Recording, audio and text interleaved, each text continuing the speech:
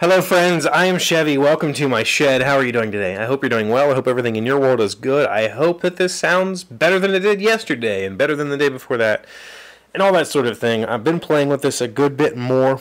It's still weird to me because I'm still not getting lights to show up on here, but the camera seems to be doing a pretty good job of recording as far as I can tell on its EQ.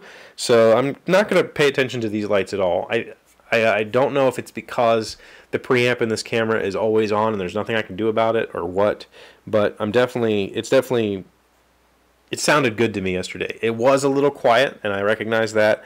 So today, um, I've sat down and I've I've tried to figure out whether I should be messing with these line level knobs or the main mix knobs. I think the answer is no, and I should only be messing with this microphone gain.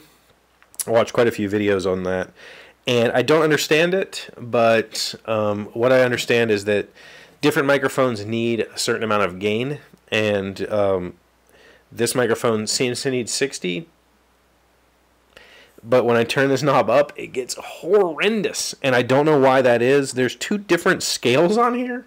One is in little circles, which is plus 10 or plus 60, so it, it's always boosting.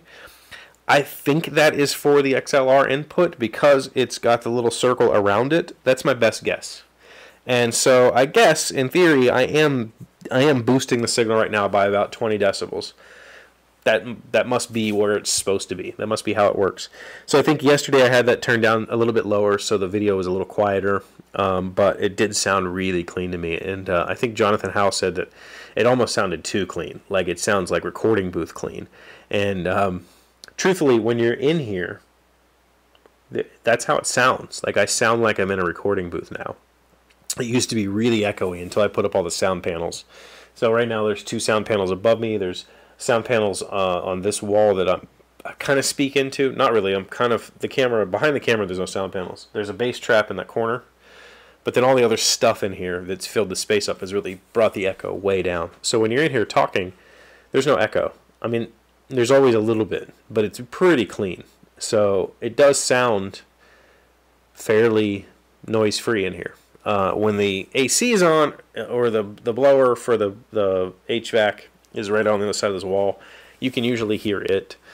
I think you could hear it yesterday even. I'm not positive. But what I have learned is the EQ stuff. Um, on this particular mixer, I have the EQ high, which is 12 kilohertz range. If I turn it up, I get a lot of buzz. And so I've heard of the high pass filter, which means cutting out. I thought a high pass filter meant cutting lows gets rid of that, which apparently it does. But I'm actually putting a little bit of low back in because the lows on this uh, mic make my voice sound a little funny. And so I turned the high pass down a little bit. So I'm a little bit below zero with the high pass, with the high frequencies, and a little boost to the bass frequencies. Uh, maybe that's just the way my voice likes it. I don't know. I tried to listen through the headphones. I went and bought another adapter, not that one. I went and bought another headphone adapter, and I thought it was broke because I plugged it in. I was getting all this crazy noise because I was doing what the guy on the video told me to do, which was to set your line level and your main mix to zero, turn this knob until you start getting lights, and then that's where you're supposed to be. But in truth, no, it's like blown out really bad. Um, so I don't know what's going on there. Uh, I don't know. But it is what it is, and I think it's working well now. I hope it's working well now. I hope that um, it's all good. And, um, you know, this was a good birthday present. Tomorrow uh, is is a day. Uh, it's another day for me, and I I don't really treat my birthday as anything special, but some people do. And uh, I told my boss today that I may or may not take tomorrow off, and she she's a new boss. She's only been our boss since January first, so she's like, "Why is that? Is it something special?" And I told her, "Well, it you know may or may not be my 40th birthday." She's like, "That's a big one," and I'm like, "No, not really. It's just another birthday." But the funny thing is, my kids and I have always joked that I'm just a 12 year old. And so my my youngest daughter, I had her this morning, and she was like, "You're gonna turn 13 tomorrow," and I thought that was kind of funny. She she likes to pick on me like that, so I appreciate her for that. But yeah, I'm gonna be a teenager tomorrow, according to my kids. That's it's fun. So, uh, this was a good birthday present. This has been a good adventure trying to figure out how to make this thing work, how to get clean audio, um, so that I could save essentially, you know, thirty dollars a month is significant for me. That's a huge savings. Um, that's a big deal for me. You know, thirty dollars a month is more spending cash than I normally have in any given month, and that, I'm not exaggerating.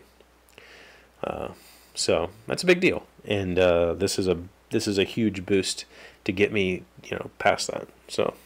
Um, I think the next the next up on the chopping block for this year in the show would be a camera body. This is a Canon EOS M3. I really the new uh, M bodies, the new mirrorless bodies, um, are have a lot of features that I would love to own, and this camera is starting to kind of literally fall apart.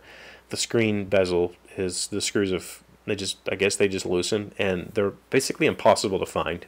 Uh, I don't know if I could contact Canon to find those, but I've had to take I had to take screws out of my other tiny camera to put in this. So I've basically been salvaging stuff to keep this camera going, and I also think that this um, microphone jack is starting to wear out because I do plug in and plug out every single day, and uh, that's probably not good for it. So it'd probably be better if I had uh, some sort of connector just kind of hanging on there that I could always plug my mic into, and then if it wears out, then I could pull that out and plug in or whatever. I don't know. I just figured if it ever broke, I'd just fix it. I'm rambling. I'm trying to avoid uh, admitting that I'm going to turn 40 in a couple hours. Yeah. I'm old. It is what it is. So, uh, thank you all for everything you've done for me. Uh, in the past three years, and for gifts like this that keep the show going.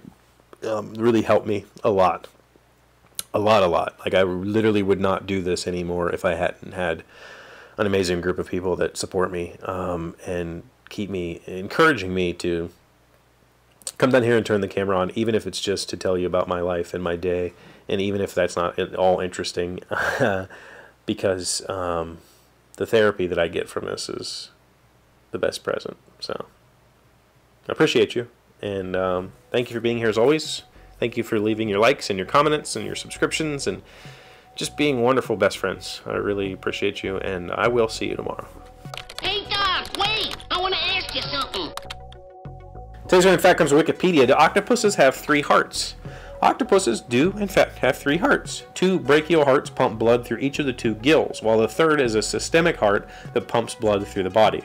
Octopus blood contains copper-rich protein hemocyanin for transporting oxygen. Hemocyanin, sorry.